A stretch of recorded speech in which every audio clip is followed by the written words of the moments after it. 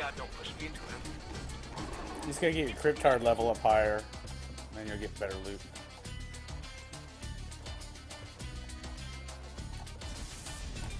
I gotta change my weapons up. Put shield up here.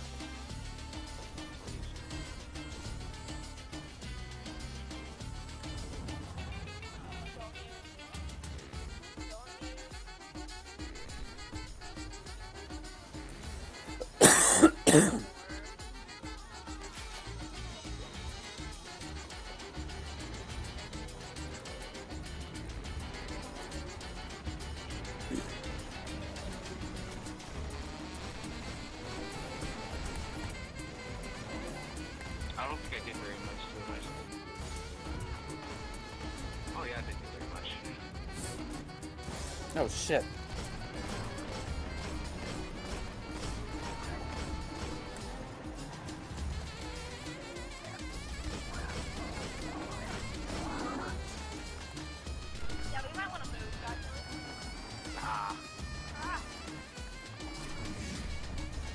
Whoa, I just got two bounties in once. not dying, uh, 100 kills, and 9,000 in a row. No, wait, no, one of those wasn't. One of those was kill. I don't know. That wasn't. That wasn't Henderson. Shit. Fuckers behind me. Is this a fully automatic shotgun? Damn it! The Cabal pushed me into his fire.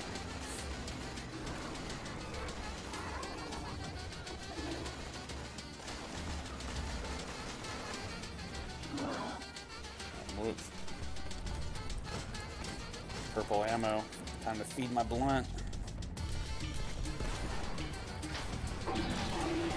Dragon's breath, bitch.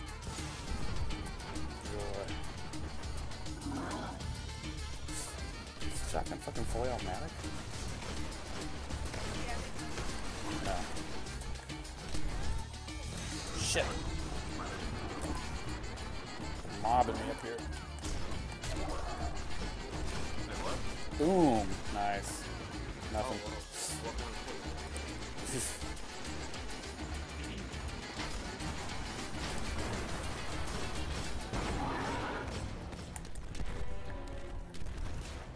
Watch your sixes, guys. We got psions coming up. They walk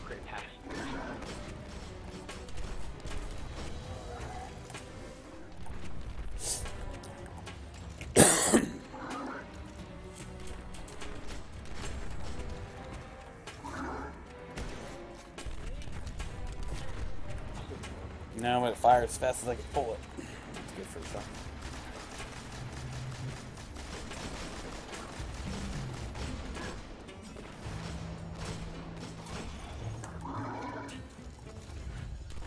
Shield up.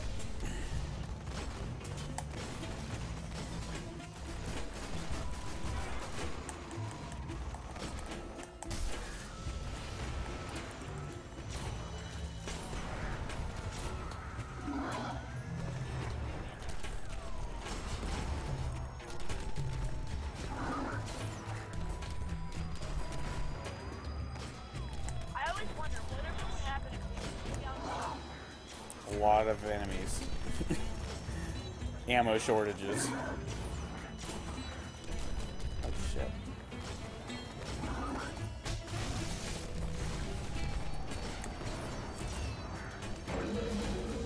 Shield's gonna pop any second.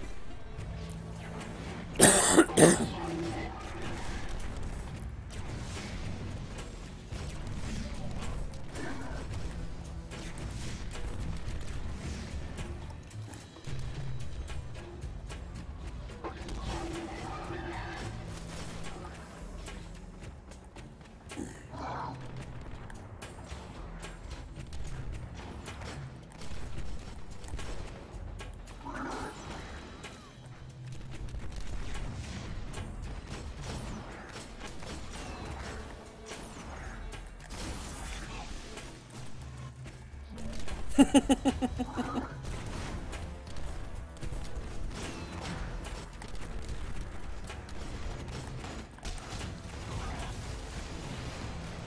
focus on him. If I die, the shield goes, so I'm gonna try to cover your sixes.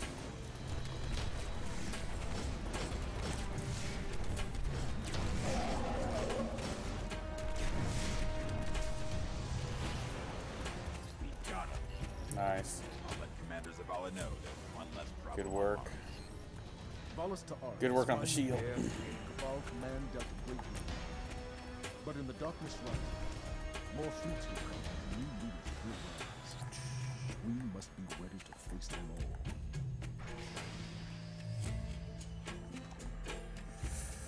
Once again, Fatebringer, man. Skin in the smoke wagon. I got Senior Blunt Wrap on my back, aka Dragon's Breath.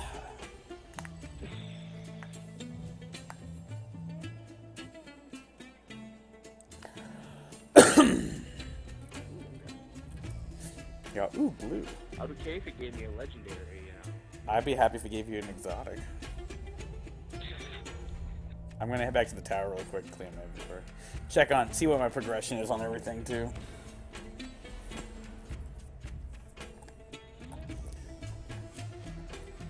It's funny how when you first make a character, you're all about the story, the loot, scoot, and shoot, the big long grind. But then there's this point where you hit where the only things you want to do are like weeklies and raids on hard. And I don't think I want to ever get like that with this game. I don't like to limit myself on any game I play. I don't like to take a game like Grand Theft Auto or Red Dead Redemption and then limit what is I can do and how I can do it inside to much of an extent. If there's a little bit of manipulation to make like a structured kind of thing, that's one thing. Making a, a custom match in GTA, but when you're in a free roam lobby, like to not just enjoy that world that they made. Um, it, it feels a little silly. You know, we talk about it when I play Grand Theft Auto, how I sometimes I just walk around the streets drinking and eating and smoking and just, just living like a normal guy. Not, oh, there's somebody that, that's walking by me, let me pull out and then follow down with the standard cop chase, dying, money lost out the window. That is fun. I love that. I've been doing that since GTA 1 but as the games have evolved, and I guess that's one of those things too. Like I said, uh, being an older person and playing games longer, things like Grand Theft Auto 1, 2, 3, Vice City, I played them all. So when I was back playing 1, going, God, how cool it would be if we could play a three dimensional game, and then we got 3. And then when we're playing 3, and we're like, how cool it would be when we're playing Vice City and San Andreas if we get a multiplayer. And then we're playing 4, and we got multiplayer. So we kind of, you know, if you just jumped on at Grand Theft Auto 5 or Grand Theft, you kind of or the app ones, you know, you kind of feel like that. See what I get here. I ugh, I need a blue fusion rifles. I need to feed my. I got that. I need to feed a couple more to uh, my pocket infinity bounty.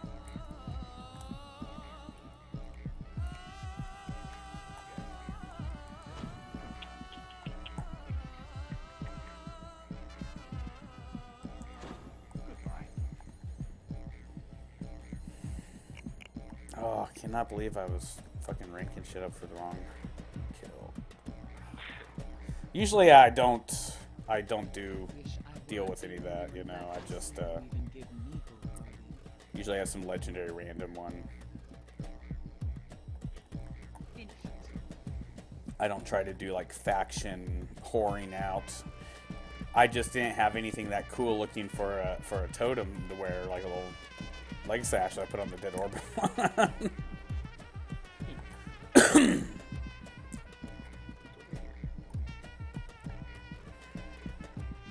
I'd almost be level 4 Vanguard if I hadn't done that. Oh well.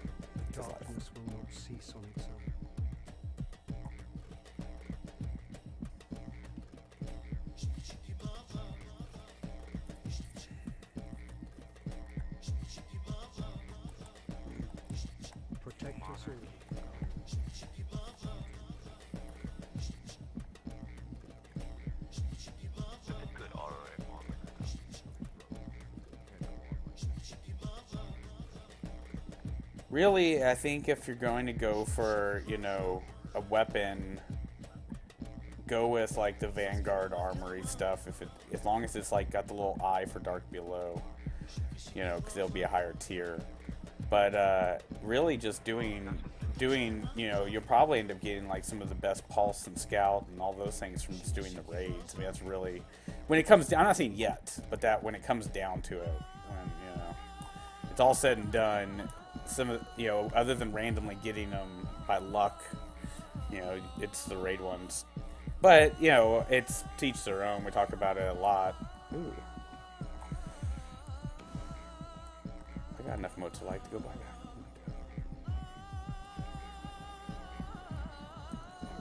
I didn't even notice. Did Xur have like something to buy with motes of light this week? Let's go I check.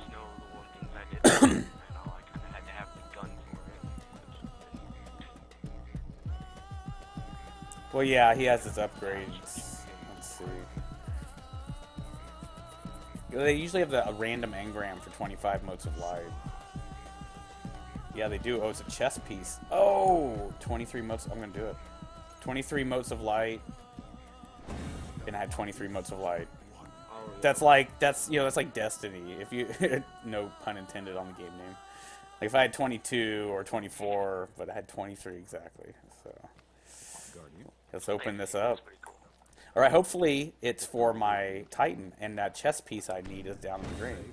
No, damn it. But I did get an exotic chess piece for my future Warlock. But that's okay. That's like I said. I need Warlock armor to build it. I would like to have all three of my characters be level 30 right now, so I could do like three weeklies. And I could break it down and get an exotic shard too. Wouldn't even give me a preview of it. I got the um, Wolf Void Fang vestments.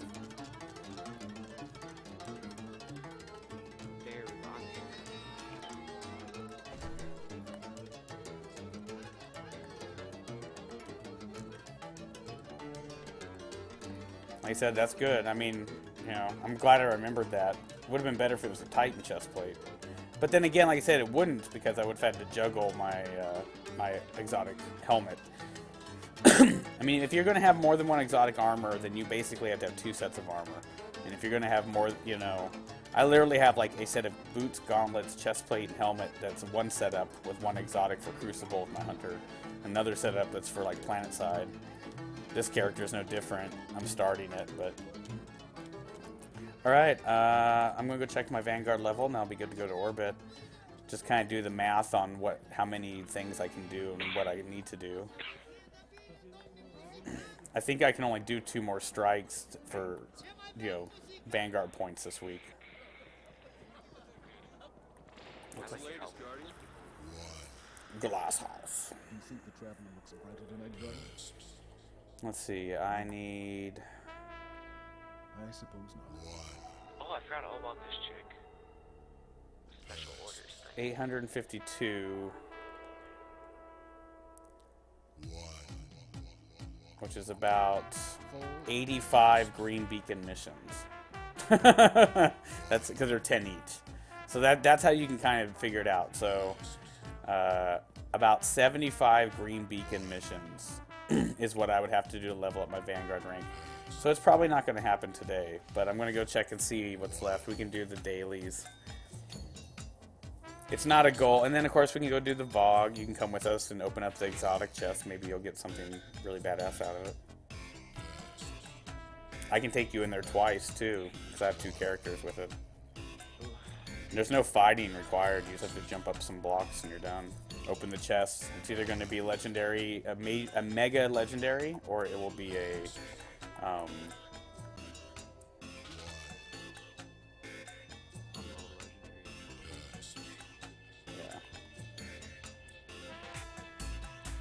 Oh, I guess I can just keep doing Vanguard Reputation in general. Okay.